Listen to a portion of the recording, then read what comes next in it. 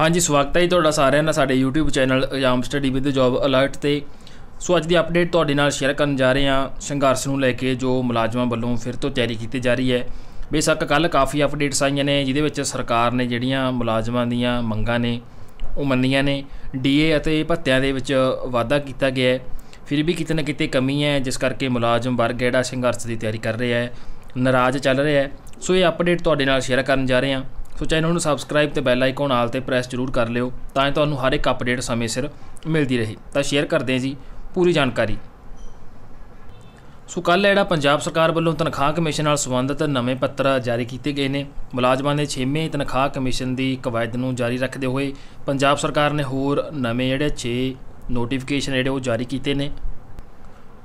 ਇਹਨਾਂ ਵਿੱਚ ਮੁਲਾਜ਼ਮਾਂ ਦੇ ਕਈ ਪੱਤੇ ਵਧਾਏ ਗਏ ਨੇ ਅਤੇ ਥੋੜੇ ਬਹੁਤੇ ਘਟਾਏ ਵੀ ਗਏ ਨੇ। ਪੰਜਾਬ ਸਰਕਾਰ ਨੇ ਆਪਣੇ ਸਾਰੇ ਮੁਲਾਜ਼ਮਾਂ ਲਈ ਮੈਡੀਕਲ ਭੱਤਾ 500 ਰੁਪਏ ਪ੍ਰਤੀ ਮਹੀਨਾ ਤੋਂ ਵਧਾ ਕੇ 1000 ਰੁਪਏ ਪ੍ਰਤੀ ਮਹੀਨਾ ਕੀਤਾ ਗਿਆ ਹੈ।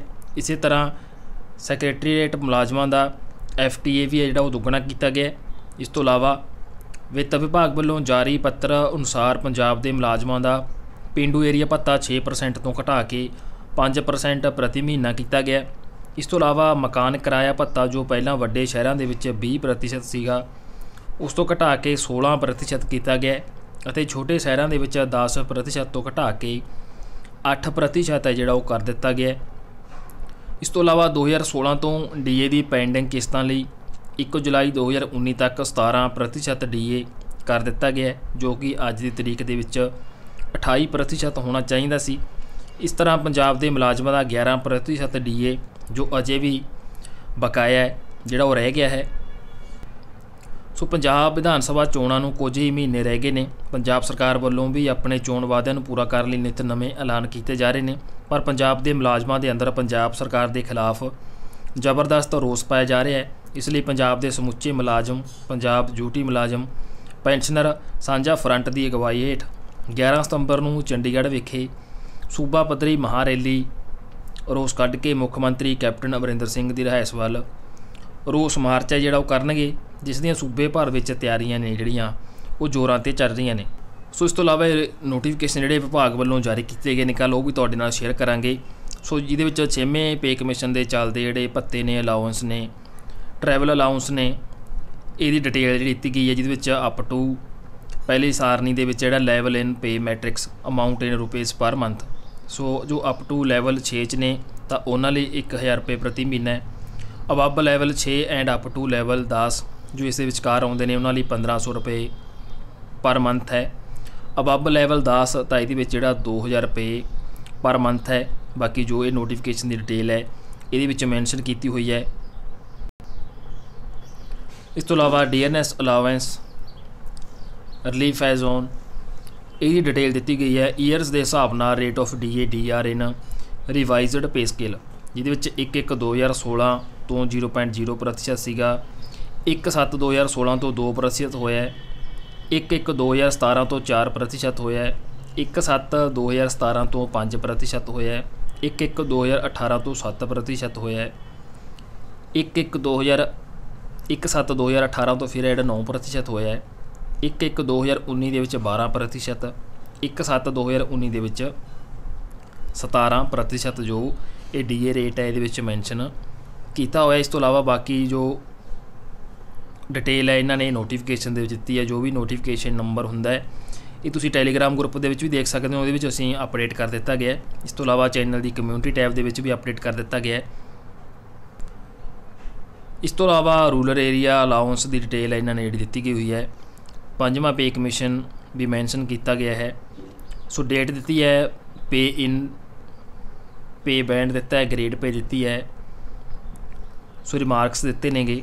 1 9 2014 ਵਿੱਚ 12090 ਗ੍ਰੇਡ ਪੇ ਸੀ 4200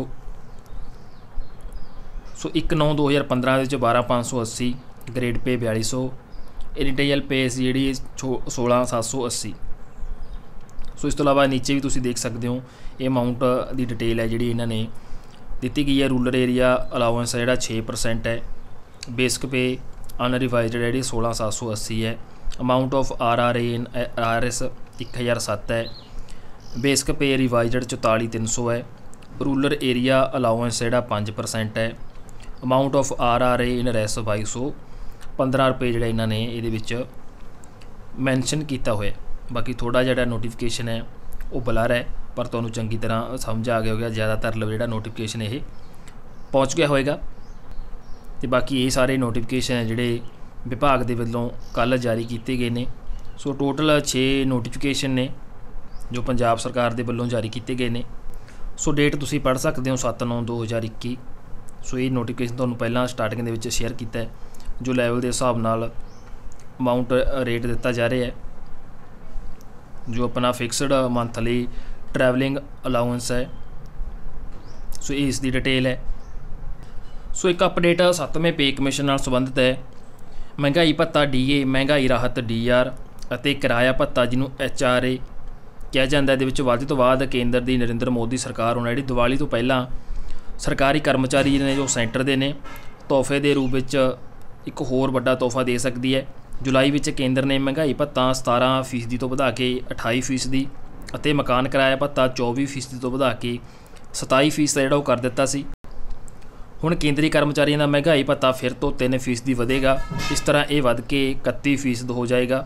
ਸੋ ਕੇਂਦਰ ਨੇ ਕਰੋਨਾ ਵਾਇਰਸ ਮਹਾਮਾਰੀ ਦੇ ਕਾਰਨ ਮਈ 2020 ਦੇ ਵਿੱਚ ਮਹਿੰਗਾਈ ਭੱਤੇ ਡੀਏ ਦੇ ਵਿੱਚ ਵਾਧਾ ਸੀ, ਜਿਹੜਾ ਉਹ ਰੋਕ ਦਿੱਤਾ ਸੀਗਾ। ਇਸ ਤੋਂ ਇਲਾਵਾ ਮਹਿੰਗਾਈ ਭੱਤੇ ਵਿੱਚ ਵਾਧੇ ਦੇ ਬਾਅਦ ਤੋਂ ਕੇਂਦਰੀ ਕਰਮਚਾਰੀ ਡੀਏ ਦੇ ਬਕਾਏ ਦੀ ਮੰਗ ਕਰ ਰਹੇ ਸਨ। ਨੈਸ਼ਨਲ ਕੌਂਸਲ ਆਫ ਜੀਸੀਐਮ ਕਰਮਚਾਰੀ ਅਤੇ ਸਿਖਲਾਈ ਵਿਭਾਗ ਡੀਓਪੀਟੀ ਅਤੇ ਵਿੱਤ ਮੰਤਰਾਲੇ ਦੇ ਵਿਚਕਾਰ 26-27 ਜੂਨ 2021 ਨੂੰ ਇੱਕ ਮੀਟਿੰਗ ਹੋਈ। ਹਾਲਾਂਕਿ ਇਸ ਬਾਰੇ ਅਜੇ ਤੱਕ ਕੋਈ ਅਧਿਕਾਰਤ ਬਿਆਨ ਹੈ ਜਿਹੜਾ ਉਹ ਨਹੀਂ ਦਿੱਤਾ ਗਿਆ। ਕੇਂਦਰ ਨੇ ਕਰੋਨਾ ਮਹਾਮਾਰੀ ਦੇ ਦੌਰਾਨ ਲਗਭਗ 1.5 ਸਾਲ ਤੱਕ ਕਰਮਚਾਰੀਆਂ ਦੇ ਮਹਿੰਗਾਈ ਭੱਤੇ ਨੂੰ 17% ਦੀ ਦਰ ਨਾਲ ਦਿੱਤਾ ਜਾਣਾ ਸੀ, ਜਿਹੜਾ ਉਹ ਬੰਦ ਕਰ ਦਿੱਤਾ ਗਿਆ ਸੀ। ਕੁੱਲ ਮਹਿੰਗਾਈ ਭੱਤੇ ਦੇ ਵਿੱਚ ਪਿਛਲੇ ਸਾਲ ਦੇ ਮੁਕਾਬਲੇ 11% ਦਾ ਵਾਧਾ ਹੋਇਆ ਹੈ। ਸਰਕਾਰ ਨੇ ਇਸ ਨੂੰ ਜੁਲਾਈ 2021 ਤੋਂ 28% ਕਰ ਦਿੱਤਾ ਹੈ। ਹੁਣ ਜੇ ਜੂਨ 2021 ਵਿੱਚ ਇਸ ਦੇ ਵਿੱਚ 3% ਦਾ ਵਾਧਾ ਹੁੰਦਾ ਹੈ ਤਾਂ ਉਸ ਤੋਂ ਬਾਅਦ ਮਹਿੰਗਾਈ ਭੱਤਾ 31% ਤੱਕ ਪਹੁੰਚ ਜਾਵੇਗਾ। ਜੇ ਕਿਸੇ ਕਰਮਚਾਰੀ ਦੀ ਮੁੱਢਲੀ ਤਨਖਾਹ 50000 ਰੁਪਏ ਹੈ, ਤਾਂ ਉਸ ਨੂੰ 15500 ਰੁਪਏ ਡੀਏ ਵਜੋਂ ਮਿਲਣਗੇ। ਇਸ ਦੇ ਨਾਲ ਹੀ ਕੇਂਦਰ ਦੀ ਤਰਜ਼ ਤੇ ਰਾਜਾਂ ਨੇ ਵੀ ਡੀਏ ਵਧਾਉਣ ਦਾ ਜਿਹੜਾ ਉਹ ਫੈਸਲਾ ਕੀਤਾ ਸੋ ਇਹ ਹੁਣ ਤੱਕ ਦੀਆਂ ਅਪਡੇਟਸ ਨੇ। ਬਾਕੀ ਅੱਗੇ ਜੋ ਅਪਡੇਟਸ ਆਏਗੀ ਨਾਲ ਦੀ ਨਾਲ ਜਾਣਕਾਰੀ ਤੁਹਾਡੇ ਨਾਲ ਸ਼ੇਅਰ ਕਰਦੇ ਰਹਾਂਗੇ। ਸੋ ਇਸ ਤੋਂ ਇਲਾਵਾ ਪੀਆਰਸੀ ਜੋ ਮੁਲਾਜ਼ਮ ਨੇ ਸਟ੍ਰਾਈਕ ਕੀਤੀ ਹੋਈ ਹੈ, ਸੋ ਉਹਨਾਂ ਦੀ ਅੱਜ ਮੀਟਿੰਗ ਹੈ। ਇਸੇ ਮੀਟਿੰਗ ਦੌਰਾਨ ਜੋ ਵੀ ਅਪਡੇਟ ਆਏਗੀ ਉਹ ਜਾਣਕਾਰੀ ਵੀ ਤੁਹਾਡੇ ਨਾਲ ਨਾਲ ਦੀ ਨਾਲ ਸ਼ੇਅਰ ਕਰਦੇ ਰਹਾਂਗੇ ਸੋ ਚੈਨਲ ਨੂੰ ਸਬਸਕ੍ਰਾਈਬ ਤੇ ਬੈਲ ਆਈਕਨ ਆਲ ਤੇ ਪ੍ਰੈਸ ਕਰਨਾ ਨਾ ਭੁੱਲਣਾ। ਧੰਨਵਾਦ ਜੀ।